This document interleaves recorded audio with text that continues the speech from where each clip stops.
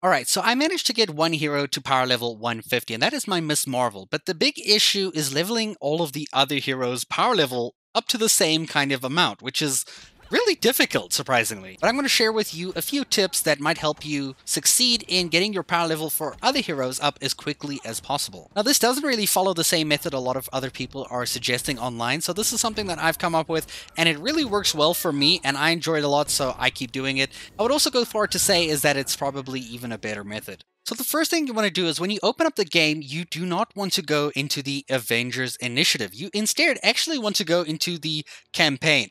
Don't ask me why, but there's this weird little thing that when you go into the Avengers Initiative and you use a certain mission that I'm about to tell you, it will give you the power level for a max hero rather than your actual hero. So you wouldn't be able to play it. And this is the Forest Elite Vault in the Pacific Northwest side of the map. Now, if you play on campaign and you go to the Forest Elite Vault, you'll see you should be able to play it with any hero of any power level. Challenge 1 will give you a matched kind of power level score, so you'll basically be doing the, the mission on the same difficulty that you're playing it on. You could probably push this up to Challenge 2 if you really are confident in your abilities and you really want the best results and you want to go far really quickly.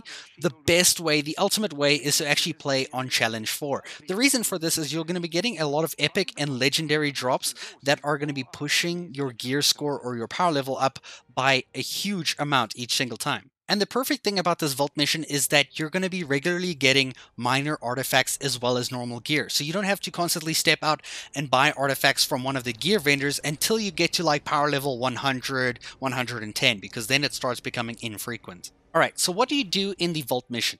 You actually do not go to the vault at all. I've actually made a video on this exact same kind of mission before for farming legendaries at a high-end kind of game, which is the same thing. Now we're just taking it and we're using it to boost power level for lower heroes. Because you can still get that massive amount of items just playing a lower power level hero. It's also very important not to upgrade any of the items that you have below power level 130 because you're basically just wasting your resources and you're not going to be getting a new item replacement that is going to be higher than that.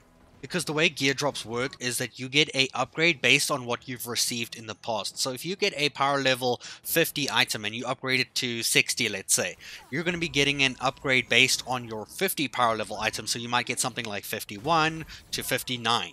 And all you have to do is follow all the different checkpoints or the different question marks on your map, your points of interest. Go to every single one, and you'll be getting a silver chest multiple times, one gold chest, and there will also be an elite enemy that you can kill for possibly some good loot generally when you can, it's also good to try and counter and fight the harder enemies that you find, like the riot bots, the ones with shields, anything that looks particularly difficult to fight, it's actually really good to kill them because there's a high chance that they're going to drop a decent gear for you to use. If you have a really perfect run, you should be able to get this done in 10 minutes. After you get to that final objective, you can literally just hit the escape button, go to return to Quinjet, and you can basically restart the mission again to refarm. I was getting about 8 to 10 power level every single time I did this mission. That's that's a lot of power level for about like 15 minutes or so on average. This obviously depends if you can fly or if you play Captain America who takes forever to run everywhere. That's all I wanted to say guys. I hope this is a mission that seems suitable for you and it's one that you might enjoy actually doing. So I hope you guys enjoyed this little guide and I'll see you guys in a future video. Thank you for watching.